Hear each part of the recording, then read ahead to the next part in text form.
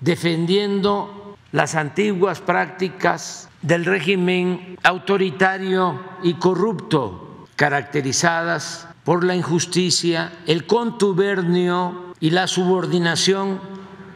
de las autoridades a la delincuencia organizada y a la delincuencia de cuello blanco. Es decir, para entendernos mejor,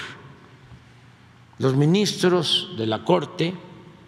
con excepción de tres, actúan al estilo del gobierno de Felipe Calderón,